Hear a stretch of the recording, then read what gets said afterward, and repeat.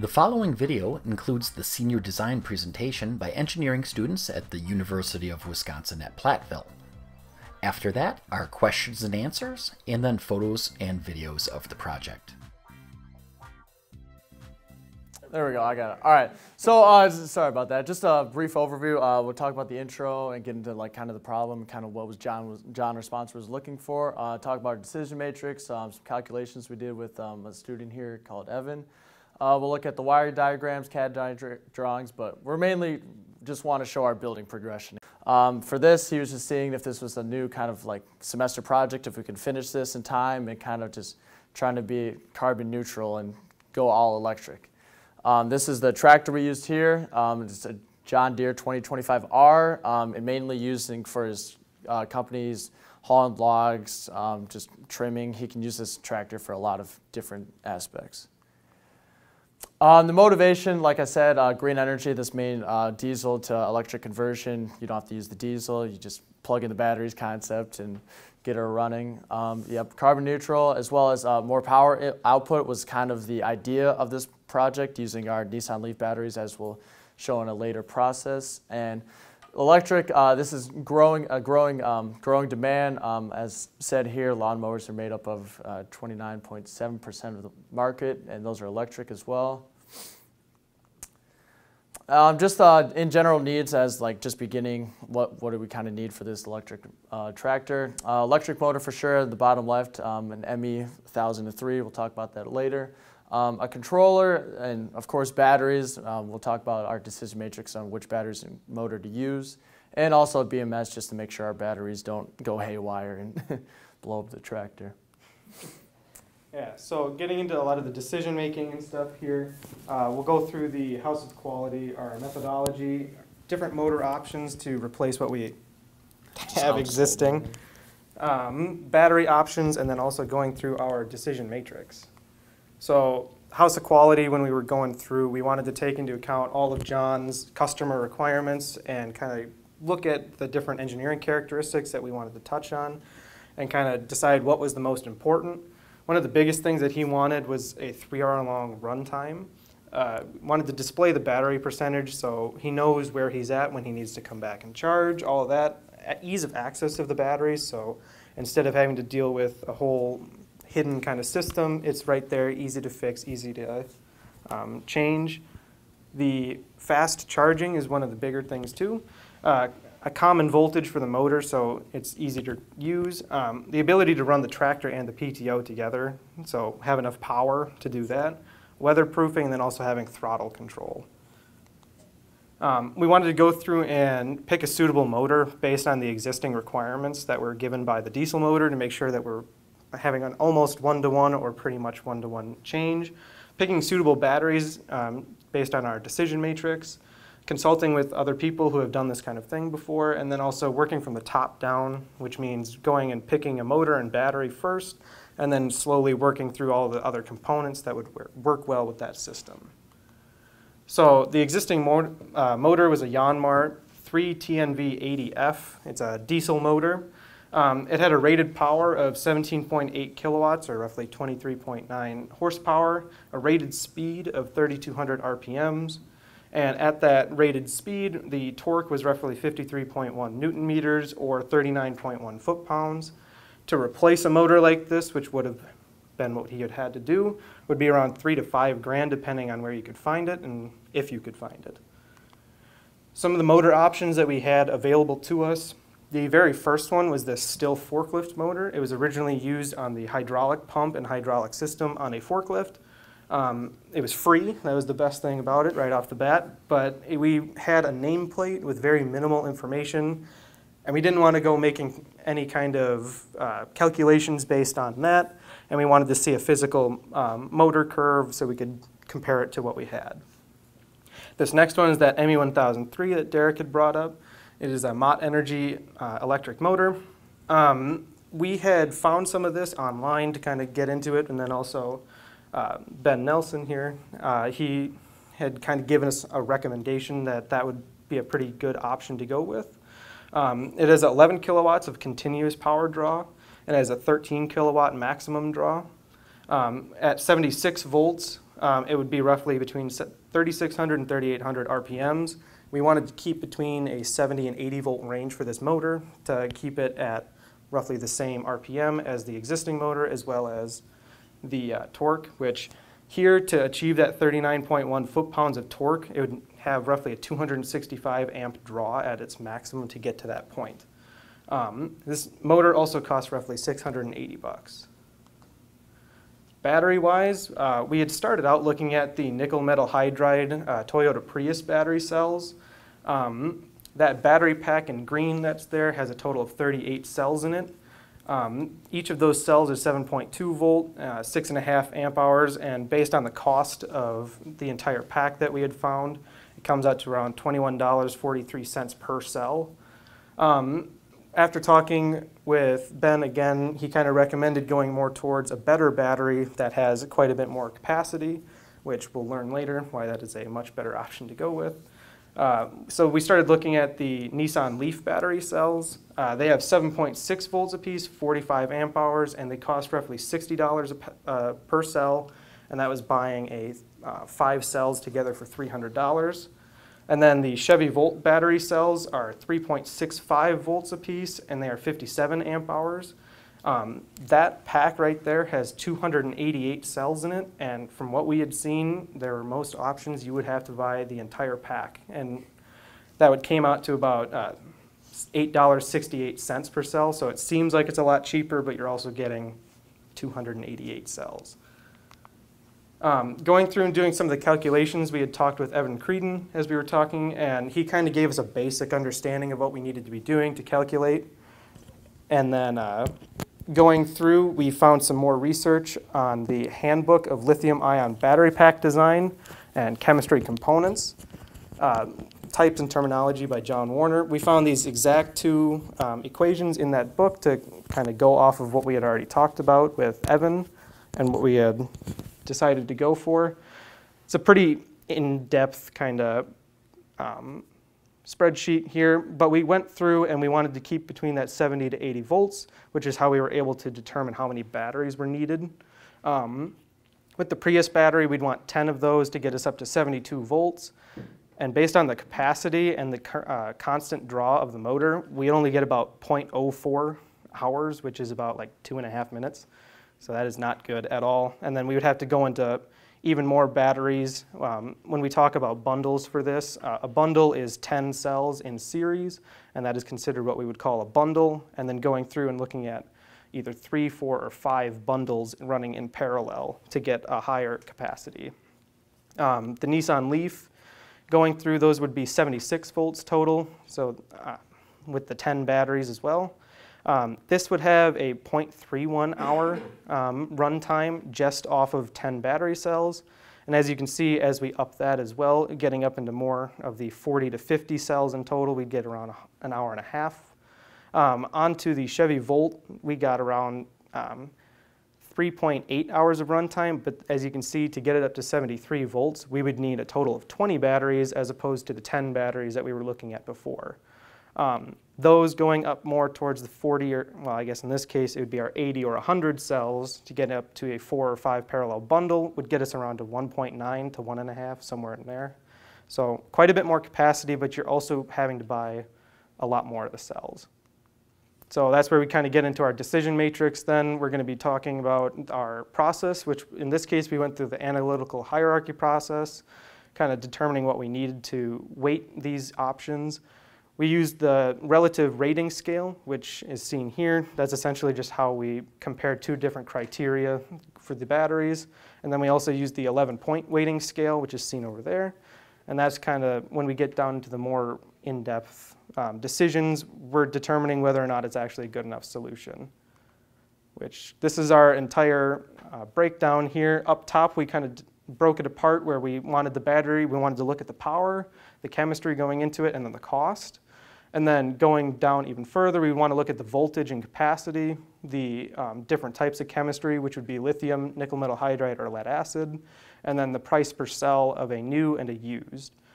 Um, there's this C matrix here, which is what we used with that relative rating scale, and then using a normalized version, we were able to find our weights, which is the highlighted in yellow there, which is important for down here with our actual decision making. Um, down here, this is where we would use that 11 point scale to give it a score. Um, for instance, the capacity of the um, Prius batteries, we gave that a very low score because that is just not, not a good option. Whereas with the um, lithium ion cells, they both had very good capacity, so they got a relatively good score.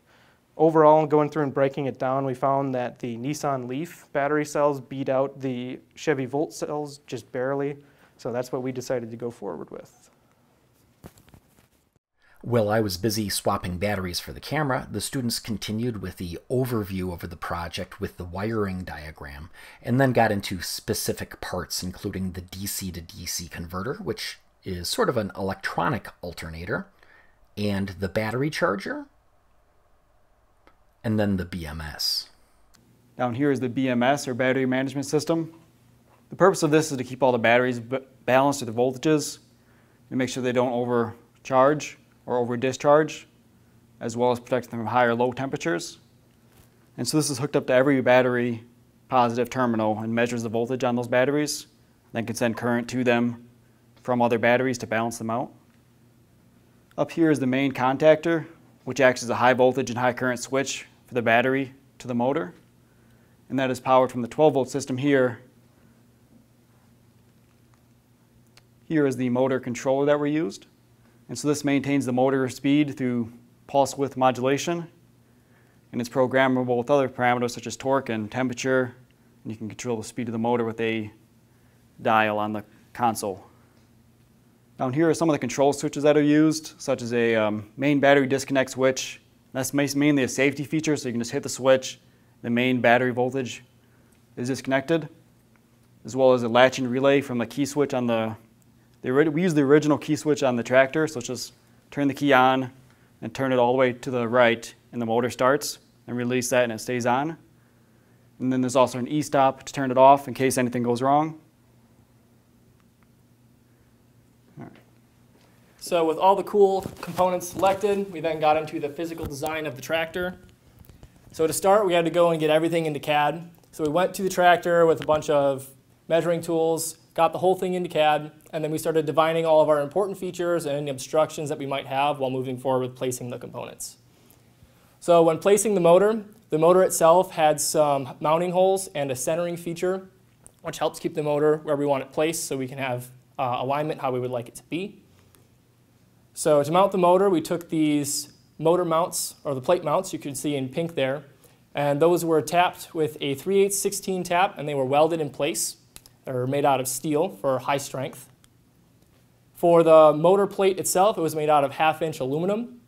The four upper holes are meant for bolting the motor to the plate, and that large hole is for the centering feature on the motor, so we could align the motor exactly where we wanted it to be. So when we came down to actually mounting the motor and getting it in place, we can see that our alignment was pretty good. We're about an inch off on center. And with our 16 inch drive shaft, that gave us about a four degree pinion angle. And the recommended is seven degrees to avoid pinion vibration. So that was a very nice thing to see. Uh, getting into the battery cradle, uh, we designed this system to stack two bundles of the Nissan Leaf cells on top of each other. So in red, you can see the main cradle, and that supports both sides of the batteries, and it also has lips in the front and the back to keep the bottom cells from sliding forward or backward. In green, we have the mid plate, which has some T-slot on the sides, so it keeps the bottom cell in place on the top, and it also holds the top cell in place. And then the yellow plate on top is to hold the uh, upper batteries down, so none of the batteries can move around on us. So now that we have everything designed, we get into the actual build part of it. So the motor mounts, you can see them up in red there. Uh, we got those welded in place. And with the motor installed, um, we had a little bit of a vibration um, in the motor when we put pressure on it. Uh, we did run FEA on the plate and found that at twice the load that we would normally see, we had 10 thousandths of deflection at the top of the plate. Um, but with uh, bouncing around in yards and stuff like that, we were concerned that it might fatigue the aluminum. So we put in a brace plate, which you can see on the bottom there. And that has a Delrin block that sits on the bottom of the motor and keeps it from wanting to oscillate on us.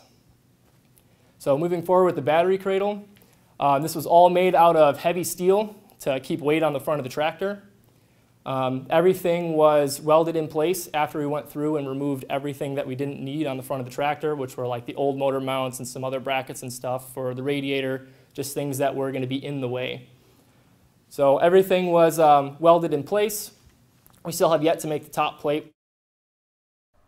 Unfortunately, at this point, we had a technical issue with the sound, so we couldn't hear the students, so we'll just continue straight from the PowerPoint for a couple of slides here. The next issue the students had to deal with was the drive shaft. They did reuse the original drive shaft, but they modified it a bit. They needed to make sure that it was the correct length.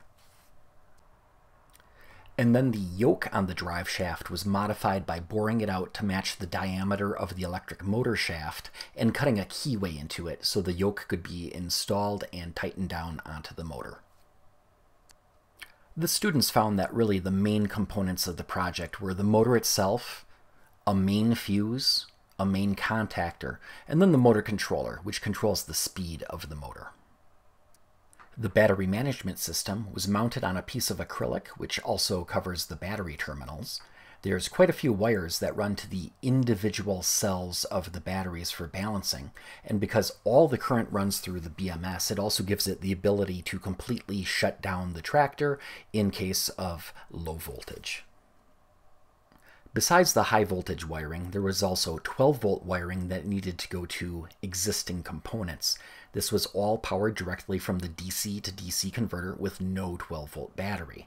This powers the lights, blinkers, hazards, and some other things, such as the relay that enables the PTO.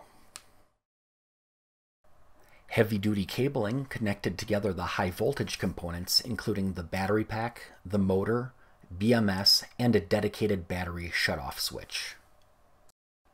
The conversion also needed some additional wiring, including the charger, the motor controller with a matching 0 to 5 kilo ohm potentiometer for speed control, the battery cutoff switch, and a dashboard mounted emergency stop button.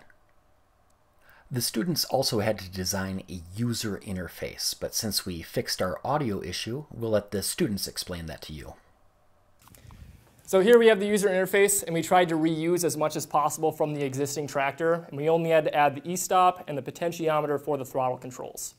So on the far left of that picture are the stock controls for the headlights, the blinkers, the PTO. All those still function as they would normally. Um, the red button is our e-stop, and that takes and cuts the power to the contactor and will dead the motor as soon as you hit it. Uh, the potentiometer there is what controls our RPM, so we can adjust speed based on um, the voltage that we see through the potentiometer, so you can get your desired output for the PTO relative to your speed, and so on and so forth. Um, not pictured here is the original ignition switch, which is just like you would find in your car. So the whole tractor has no power. When you turn the key to the on position, the 12 volt system gets all of its power.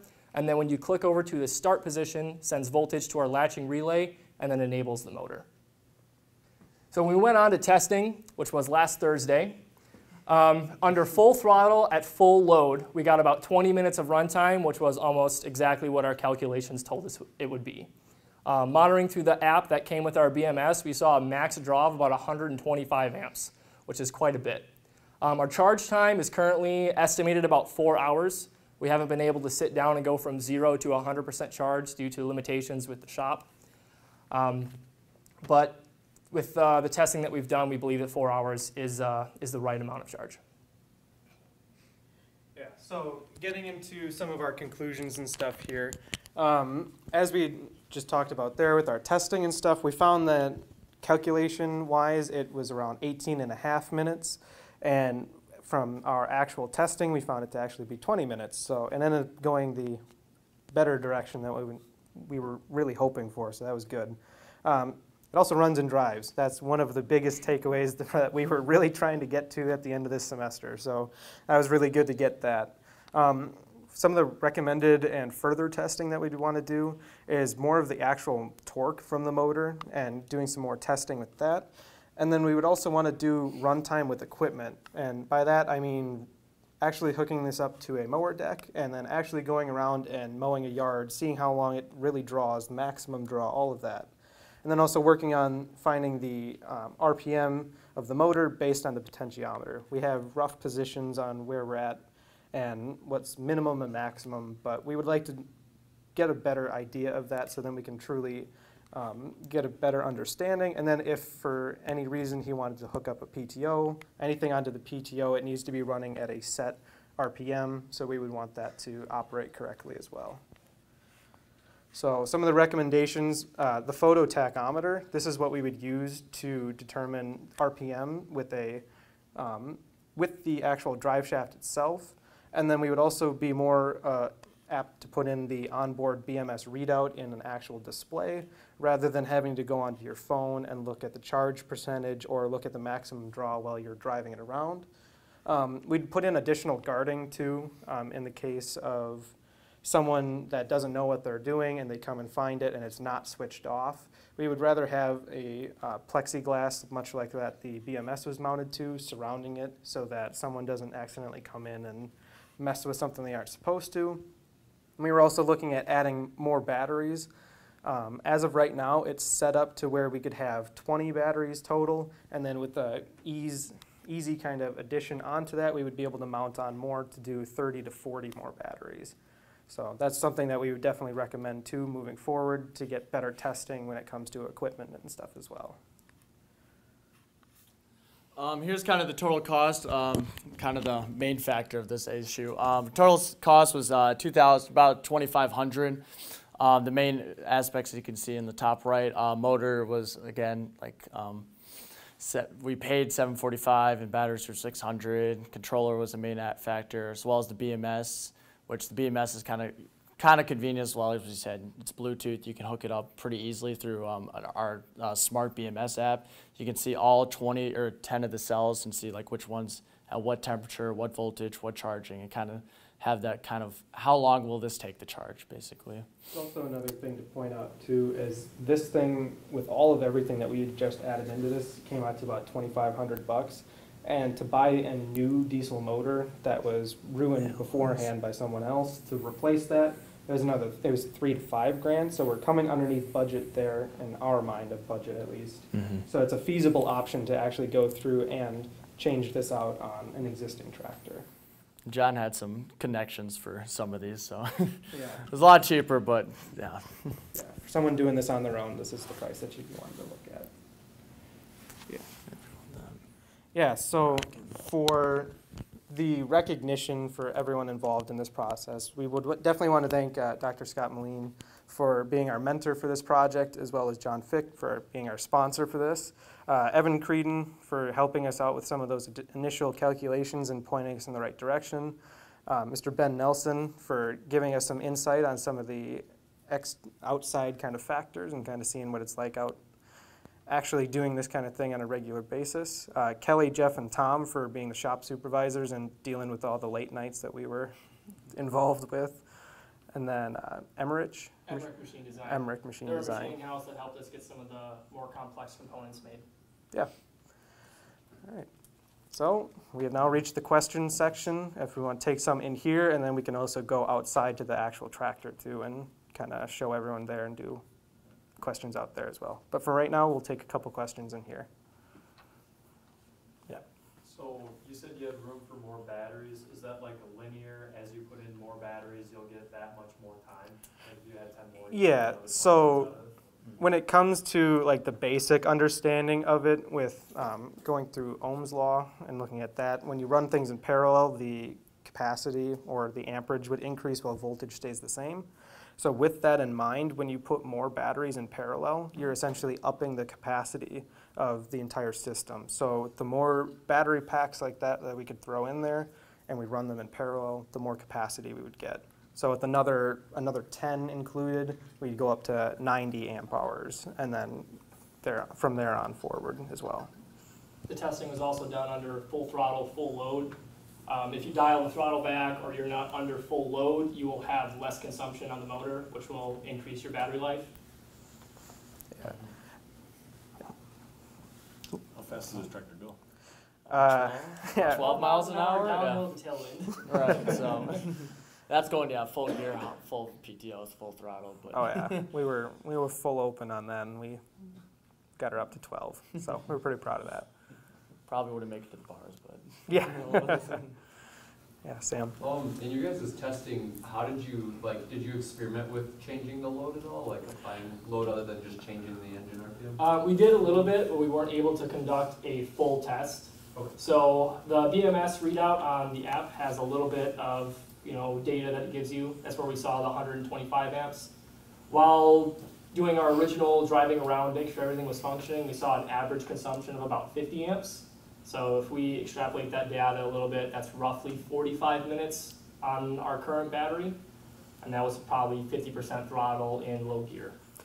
Yeah, we did do some um, some in- initial operation in low gear because uh, we didn't recognize it was in low gear, so we were just motoring around in low gear. But switched it into high gear and drove around with all four of us monkeys on it, and that's that's where that's where we found that 125 amps going uphill with all four of us on it in high gear. So a bit more testing definitely needs to be done with that. Yeah. Ben. Uh, well, obviously, there's a pretty small battery pack on here, so there's a limited runtime because of that. But outside of that, how happy were you with how it turned out? I mean, would you generally say it was very successful? Or What was your overall feelings on the project? Uh, yeah, I mean. extremely happy. We We- all kind of started with the controller. Uh, there's a light, kind of a light on the controller that says it'll flash red or like turn green. So we kind of first we got to get that green light. Once we got that green light, we were all pretty excited in the shop. But Yeah. that was a lot of working with voltages, and it kept reading low voltage, and we're like, ah, I'm pretty sure we got enough voltages. But once we got all the wiring kinematics down and like the simple like Yeah, I would say it took about six hours of tinkering with the wiring before we even got a green light to turn on. All of us were about ready to like be done, and then we finally got that green light, and we're like, oh, all right, we can actually do something with this. And then messing around with some of the wires, we figured out how to actually start it. And when we started it, we we were very excited. uh, we, we went and immediately started running it. We're overall we are very happy with the fact that we were able to get this done in the time frame that we had, and able to get more of the research done so that John in future could do something more. But yeah, very happy. All right. Yep. Okay, um, the battery life that you calculated, is this to a draw, complete drawdown or to a particular limit? So this this was essentially going down to a I believe I had it in there at an 80%. So it wasn't a full like um, 0 to 100%. This was you don't want to go within the, the low 10 or high 10 essentially percentage of the battery to keep it from wearing out. So we took that 80% of the used that as essentially like a capacity factor and used that for our time. So essentially going only 80% of the actual battery life instead. Um, but when we came to actual testing, that's where we ran more into the ran run it from almost full to basically empty, essentially. So That's when the controller yelled at us and said you should stop. basically. so yeah, it was the calculations and stuff were essentially 80% of the Mhm. actual battery life that we could expect from just for an idea to make sure that we're within a good enough um, time frame. Yeah, Sam. Um, compared to the diesel engine, uh, like, how does the electric motor and the batteries compare, like, weight-wise? Uh, the the motor itself is only 40 pounds, and the batteries themselves are, I think we said 80. About 85 Yep. pounds. Yeah. So probably a couple hundred. And then we added probably 30 to 40 pounds of steel, so we're about half of what the old motor was. Mhm. Um, Yeah. When you add on two more cell banks and some of the other wiring, you're close to what the original weight was. Yeah. But it's not, like, way over then, so. No, No, it's we're way underweight. way under. yeah. That's in in the case of using it, he might want to buy um, some more like the tractor weights that you can put on the front, just to make sure that we're not not going into wheelie mode when we're Right. driving down the road. So you had one too. Yeah, this is a pretty specific question, but when you were comparing the batteries, so you had a category for the chemistry, it included Mhm. lithium or something, can you just explain what you were comparing between the batteries or what that category meant? Yeah, so we were wanting to, like, we knew that we had the lithium ion and the nickel metal hydride were two of the main ones that we were initially looking at. And when we were going through and comparing those, um, we essentially looked at what the actual um, battery was itself, and then also like basic um, principles of like what each of those like can do. So obviously we looked at like the lead acid. We didn't include that in that calculation, but um, yeah, it was just kind of looking at each of the individual cells for the most part, not That was kind of pretty much like the discharge curve was the main thing we were looking at with the chemistry. So with a lead acid or a nickel metal hydride battery, you have a very even decaying curve. So you start to lose voltage almost immediately. Or with the lithium ion or the lithium polymer batteries, you keep that voltage pretty high towards the end of the battery. Yeah. Guess anything. Yeah. Um, otherwise, if you guys wanted to come outside, we're gonna go mess around with it a little bit and show everyone if you wanted to stop by. Otherwise, thank you for coming.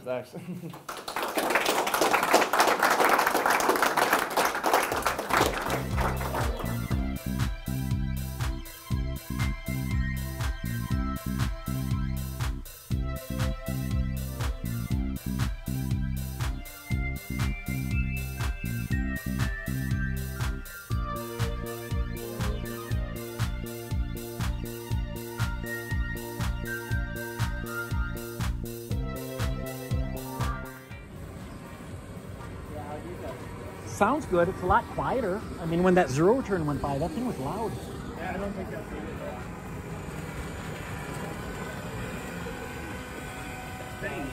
And then you just dial it down to 100. Yeah. Um, yeah, it's it's reversed. Polarity's backwards, yeah.